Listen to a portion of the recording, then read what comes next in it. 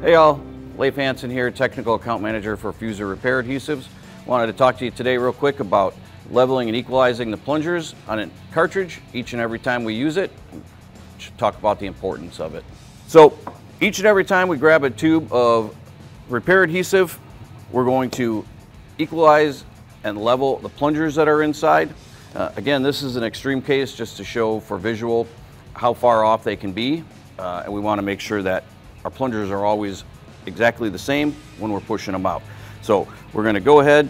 This one's been used already, but we're going to take the old tip off. We're going to insert it into our applicator here.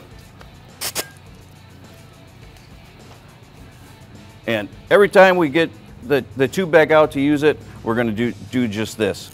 And we don't need to get a lot, just enough so that we're sure material is coming out of both sides equally so we get a pure mixture and catalyzation happens properly.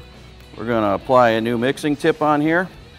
General rule of thumb is to dispense out approximately one mixing tip's length worth of material. We just want to go until there's no more marbling or discoloration. And it looks like we're pretty good there. That way we're going to assure a proper and lengthy repair. And that's your tech tip for the day.